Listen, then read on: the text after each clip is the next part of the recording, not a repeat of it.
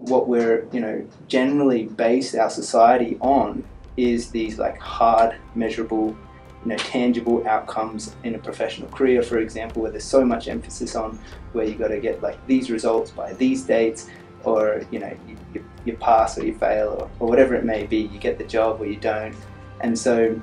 the the significance for me in recognizing the power of community has to really do with the depth of relating that I'm willing to go within myself and with those right in front of me who are, sort of, who are around me and actually go deeper beyond the material physical plane and actually go to the depths of the emotions